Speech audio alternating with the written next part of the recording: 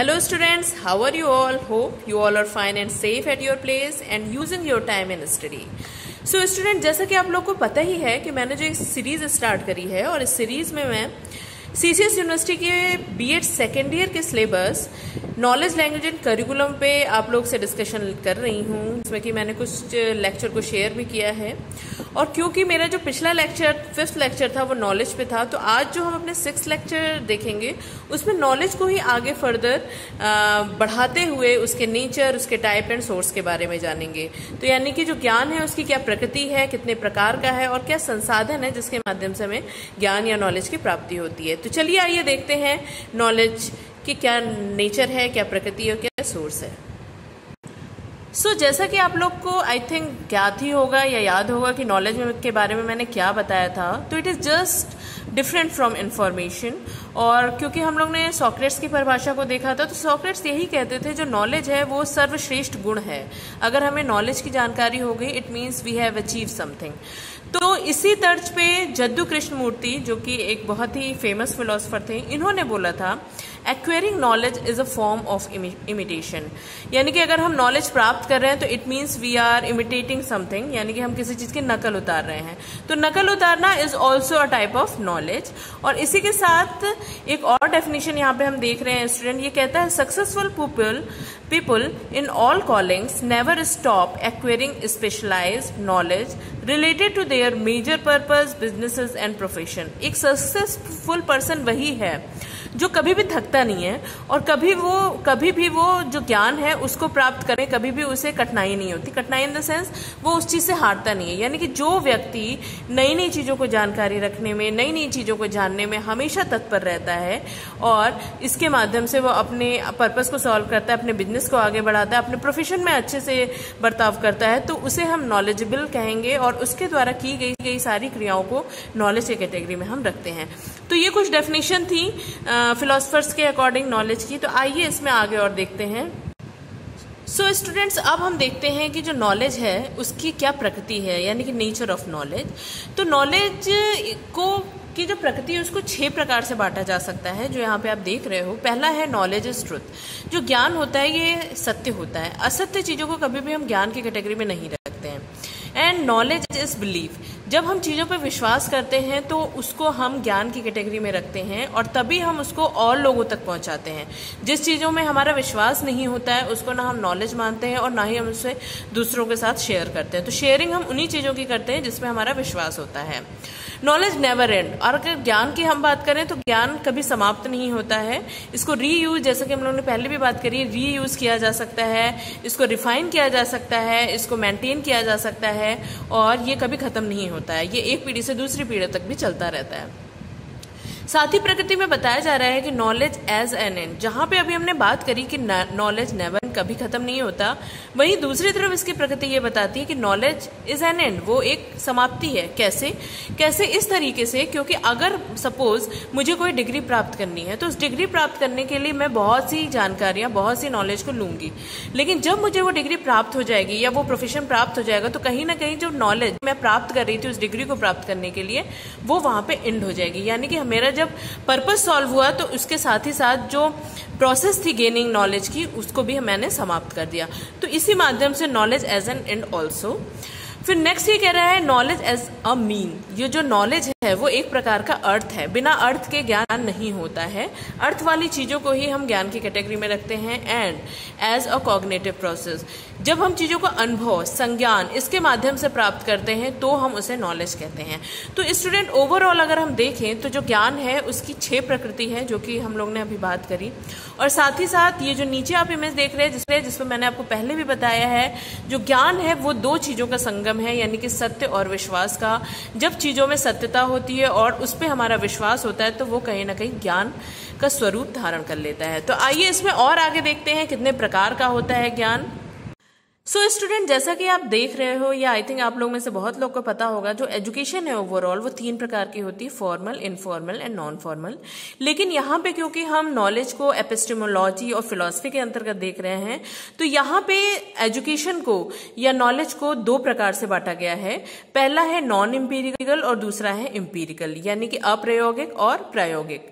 तो अप्रायोगिक देखते हैं जो अप्रायोगिक आपका ज्ञान होता है वो इंडिपेंडेंट होता है एक्सपीरियंस से यानी कि जिसमें अनुभव काउंट नहीं होता है, जिसको हम अनुभूत नहीं कर सकते हैं is a way of gaining knowledge without the need of experience ये ऐसा ज्ञान है जिसको हम बिना अनुभव के प्राप्त करते हैं, वो नॉन एम्पेरिकल नॉलेज में आएगा। और दूसरी तरफ़ हम देख रहे हैं empirical knowledge known by experience जिसे कि हम अनुभव के साथ ही जानते हैं and comes through our sensor जो हमारे इंद्रियों के माध्यम से हमें प्राप्त होता है। दिस इज़ एम्पेरिकल नॉलेज जिसे हम प्रायोगिक ज्ञान कहते हैं। इंद्रियों के माध्यम से, यानी कि हम उस चीज़ को देख के, सुन के टच करके या अनुभव करके जब हम सीखते हैं तो वो इम्पेरिकल नॉलेज के अंतर्गत आता है। तो एपिस्टिमोलॉजी या फिलॉसफी के अंतर्गत हम देखें तो जो हमारा नॉलेज है, वो दो प्रकार का है, प्रायोगिक और अप्रायोगिक। यहाँ पे स्टूडेंट अब हम देख रहे हैं ज्ञान उपनिषद के अनुसार, यानी कि अकॉर्डिंग टू उपनिषद क्या है ज्ञान? तो उपनिषद ने ज्ञान को दो कैटेगरी में बांटा था परा विद्या और अपरा विद्या और आई गेस आप लोगों में से कुछ लोगों को पता होगा परा विद्या क्या होती है और अपरा विद्या क्या होती है। लेकिन फिर भी मैं यहाँ पे आपको बताती हूँ कि परा विद्या जो होती है, ये हायर लर्निंग होती है। जिसे कि हम अल्टीमेट ट्रुथ या अल्टीमेट एम या ultimate truth of our life के नाम से भी जानते हैं। यानी कि वो ज्ञान जो कि बहुत ही हाई लेवल का है। It is also saying that higher learning और learning related to the self और द अल्टीमेट ट्रूथ जो भी सत्य है, उससे जब रिलेटेड ज्ञान होता है तो परा विद्या के अंतर्गत आता है। नॉर्मली जो आध्यात्मिक ज्ञान होता है, वो परा विद्या के अंतर्गत आता है। लाइक ट्रांसेंडेंटल नॉलेज यानी कि जो सर्वश्रेष्ठ ज्ञान है, उसको हम परा विद्या के अंतर्गत रखते हैं। दूसरी तरफ़ स्टूडेंट्स हम देख रहे हैं अपरा विद्या जस्ट अपोजिट ऑफ़ परा विद्या anything that can be seen in an object of अपरा विद्या कोई भी चीज़ जिसे हम देख सकते हैं टच कर सकते हैं, महसूस कर सकते हैं अनुभव कर सकते हैं। वो सारी चीज़ें अपरा विद्या में आती हैं। All our worldly knowledge comes in this category जो भी हमारे सांसारिक ज्ञान है लाइक साइंस है आर्ट है कॉमर्स है मैनेजमेंट है, ये सारी चीज़ें जो हैं, वो अपरा विद्या अंतर्गत आती हैं। तो इसको अगर हम कैटेगराइज भी करें तो आध्यात्मिक ज्ञान और भौतिक ज्ञान के नाम से भी हम इसे जान सकते हैं। तो ये जो ज्ञान है, ये उपनिषद के अनुसार है। तो हमने ये देख लिया स्टूडेंट कि जो नॉलेज है, वो मुख्यतः दो प्रकार का है, इम्पीरिकल नॉन इम्पीरिकल और परा और अपरा।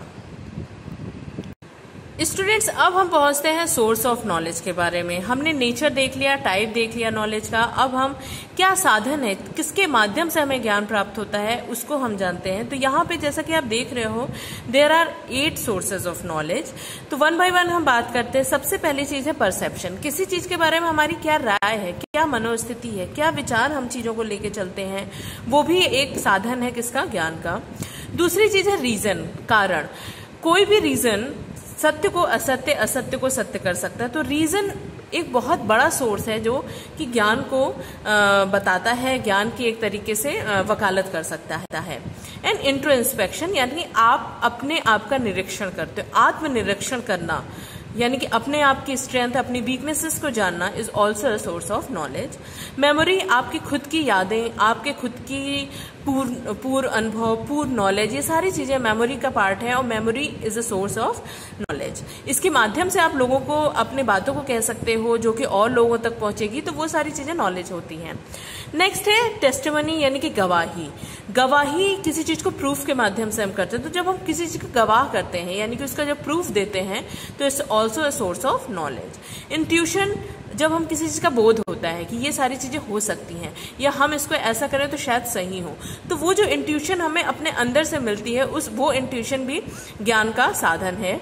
एंड नेक्स्ट है ब्रह्म जानना, यानी कि टू नो ऑफ़ गॉड भगवान को जानना is also a source of knowledge which is also a type of paravidya लेकिन यहाँ तक पहुँचने में हमें थोड़ा टाइम लग सकता है लेकिन जो पहुँच जाता है उसे नॉलेज यानी ज्ञान की प्राप्ति हो जाती है and last one is self realization यानी कि खुद का बोध खुद का निरीक्षण खुद के बारे में जानना self realization is a very good good thing ये अगर हमने अपने जीवन में कर लिया तो हम हमसे ज़्यादा ज्ञानवान कोई नहीं हो सकता। इसीलिए आई थिंक इसको सबसे टॉप के स्टेप यानी कि लास्ट स्टेप पे रखा गया है, क्योंकि ये सारी हायरार्की के हिसाब से है।